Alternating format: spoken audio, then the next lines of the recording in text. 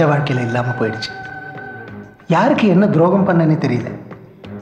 வாழ்க்கையை ஃபேஸ் பண்ணுற தைரியம் எனக்கு இல்லாததுனால தான் என் காதம்பரியும் மகனையும் அனாதை மாதிரி வாழ்கிறத நான் விலகி நின்று பார்க்குற கொடுமையை அனுபவிக்கிறேன். ரோடு போடுற இடத்துல சாதாரண தார் ஊற்றுற ஒரு பொண்ணாக தான் அவளை பார்த்தேன். உருகிய தாரை விட உருகும் மனம் படைத்த பெண் என் காதம்பரி.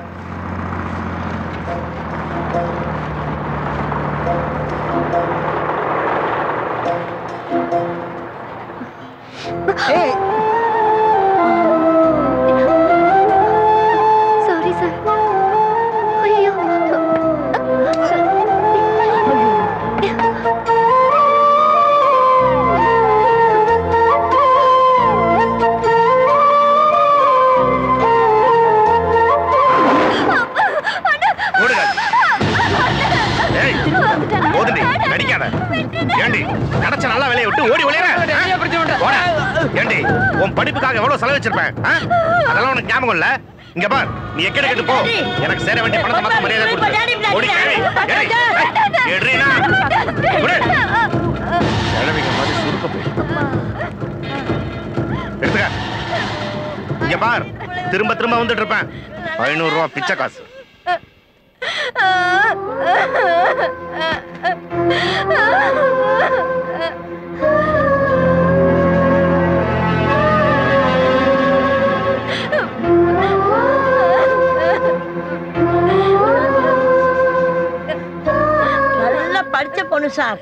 நல்ல நல்ல இடத்துலலாம் வேலை கிடைச்சது. கிடைச்ச என்ன பிரயோஜனம்? மறுநாள் அண்ணங்காரன் வந்துட்டான்னு. வந்து நிப்பான். படுவாவி. அவன் வருஷத்துல எட்டு மாசம் ஜெயில இருப்பான். அவன் வெளியில வந்தா இவளை பலாப்படுத்துவான் எல்லாம் இவன் தலையெழுத்து. இவளுக்கு எப்ப நல்ல வழி பிறக்க போதோ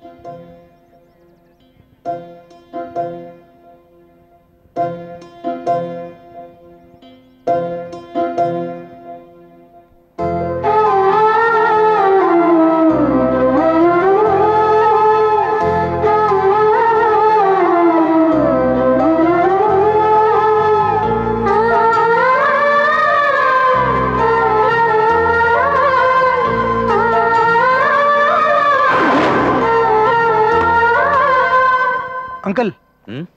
ஃபைல்ஸு உங்கள் ட்ரெஸ் எல்லாம் கூட பேக் பண்ணிடுங்க. நாளைக்கு காலையில் வெள்ளன கிளம்பணும். எதுக்கு தம்பி அவசரப்பட்டுக்கிட்டு? நாளைக்கு காலையில தானே கிளம்புறோம். இன்னும் நிறைய டைம் இருக்கு. ஐயோ எனக்கு இந்த கெஸ்ட் ஹவுஸ் லைஃப்லாம் ஒத்தே வராது.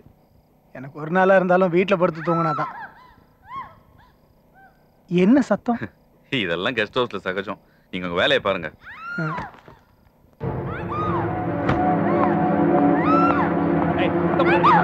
என்னங்க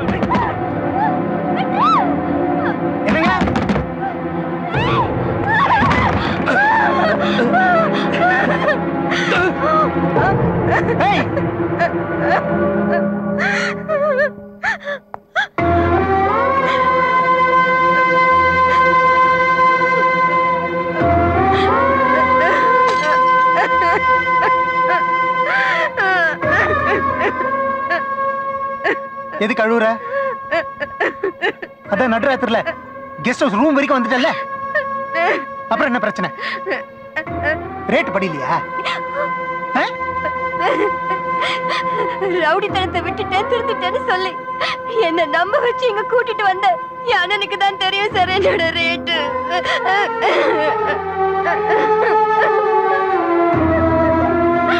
இனிமே நான் அவனை நம்ப மாட்டேன். கண்டிப்பா இது மாதிரி இன்னொரு தடவை நடக்காது.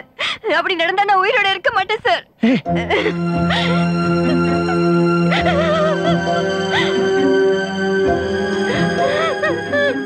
இரு உயிரோட இருப்ப. சந்தோஷமா இருப்ப.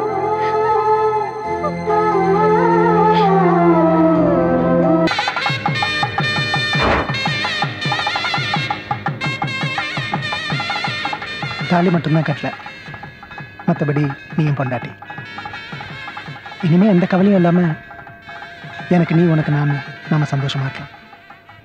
நேரம் வரும்போது எங்கள் அப்பா கிட்ட உன்னை பற்றி எடுத்து சொல்லி அவங்க ஆசீர்வாதத்தோட அவங்க கையால் எடுத்து கொடுக்குற தாலியை உன் கழுத்தில் கட்டுறேன். இது சத்தியம்.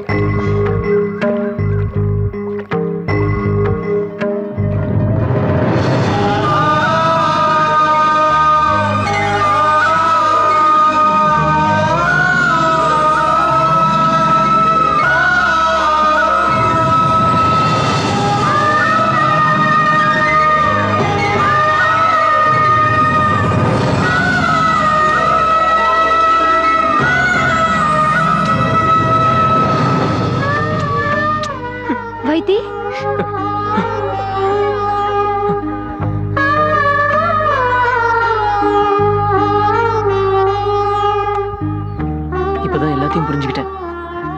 அண்ணன் டைரியில படிச்சேன். எல்லாத்தையும் படிச்சேன். அண்ணன் சாகிறதுக்கு முன்னாடி உங்க பேர் தான் சொன்னாரு. இது தெரியாம உங்களை அண்ணி என்ன மன்னிச்சிருங்க அண்ணி. ஏ வைத்தி! என்ன வைத்தி இதெல்லாம்?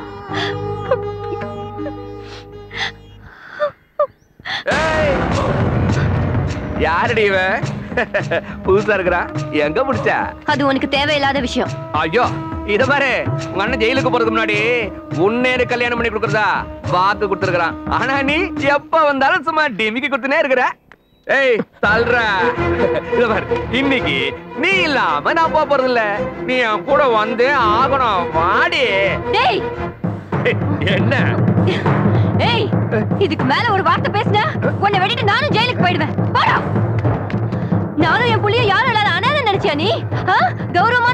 மனுஷனுக்கு பொண்டாட்டிடானா இதுக்கு மேல ஒரு நிமிஷம் இங்க நின்னு வெட்டிடுவேன் போடா போடா. ஏய், என்ன? ரொம்ப ஓவரா சவுண்ட் விடுற? என்னடி எவனோ ஒருத்த புதுசா வந்திருக்கான்னு சொல்லி குறைக்கிறியா? பார், இப்ப போறேன். ஆனா ஒண்ணு சொல்றேன்டி நீ தான் என்னைக்கு இருந்தாலும் எனக்கு பொண்டாட்டி. வச்சுக்கடி உன்னை. ஏய் வாங்க போலாம். அவ என் வழிக்கு வரலன்னா அவளை எரிச்சிடா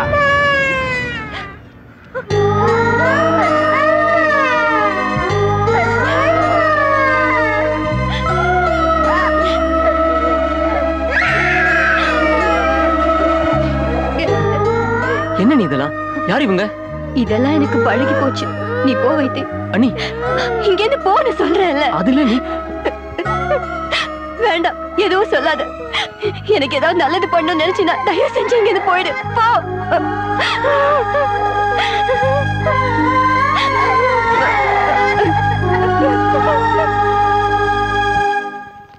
ஏய். யாரா நீ? நீ யார் அவன இருந்துக்க? இங்க வர்றத இத்தோட நிறுத்திக்க. அவளோட ஒவ்வொரு பார்ட்ஸுக்கும் அவ அண்ணன் என்கிட்ட பணம் வாங்கியிருக்கிறான். அவ இப்ப எனக்கு சொந்தம். என் கூட படுனாலும் படுப்பா. நான் எவன் கூட படுக்க சொன்னாலும் படுப்பா. ஏய்!